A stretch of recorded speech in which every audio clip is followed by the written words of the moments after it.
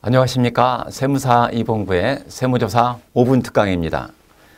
이번 시간에는 외국으로부터 화장품류를 수입해서 국내 소매점이라든가 학원 등 영세 사업자 분들에게 공급하는 사업자 분들이 들으시면 아주 도움이 되겠습니다. 화장품뿐만이 아니라 어떤 내용의 제품이든지 들어와서 도소매업을 하시는 분들 이런 분들이 들으시면 도움이 되겠죠. 자 예를 들어 보겠습니다. 미국에서 화장품용 뭐 매니큐어라든가 여성용 화장품류를 수입한 A라는 회사가 있었습니다.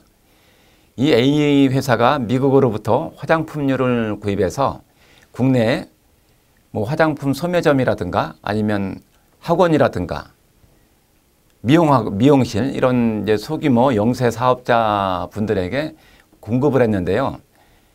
이 영세 사업자들에게 공급하시는 분들이 공통적으로 겪는 이 세무상 애로점이 있습니다. 이 제품을 구입해 가시는 분들이 자료를 받지 않으려고 하는 그 공통점이 있어요. 왜냐하면 A 회사로부터 예를 들어서 한 1억 원어치 제품을 구입해 갔다고 했을 때 세금 계산서를 1억 발행을 하면 그 구입해 간 회사는 최소한 1억 이상만큼은 세무서에 신고를 해야 되겠죠. 그런데 그 영세한 사업자 분들이 자기 매출이 노출되는 것을 좀 꺼리는 경향이 있어요. 이 소매점을 하시는 분들이 그러다 보니까 자료 받기를 좀 기피하더라는 것이죠. 그런데 어, A 회사 입장에서는 어떻습니까? 이 상대방들이 거래 상대방들이 자료를 안, 안 끊어달라고 하니까 야 그러면 국세청에서 내가 좀 신고를 누락하더라도 모르지 않을까 이런 생각을 하겠죠. 그래서 A, A 회사는 어, 세금을 좀 많이 그 누락시켜서 신고를 했습니다. 자 어떤 일이 벌어졌을까요? A 회사는 국세청의 레이더망에 걸리고 말았습니다. 그래서 세무조사를 받게 됐는데요. 자, 국세청에서는 어떤 식으로 세무조사를 했을까요? 네, 국세청에서는 영업사원의 개인명의 통장이라든가 업무노트 이런 그 컴퓨터에 수록된 각종 업무 관련 자료를 수집을 했고요. 또 직원명의 차명 통장이라든가 거래처 연락처를 다 확인을 했고 또 여기서 이제 가장 중요한 것이 있습니다. 국세청에서는 빅데이터를 활용한다는 그런 엄청난 그 힘을 가지고 있는 거죠. 어떤 빅데이터를 활용했는지 말씀드리겠습니다.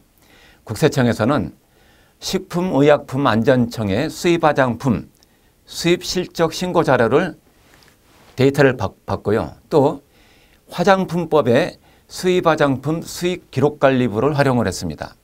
빅데이터로 다 국세청 전산망으로 이 A 업체의 물동량을 확인을 할 수가 있다는 거죠.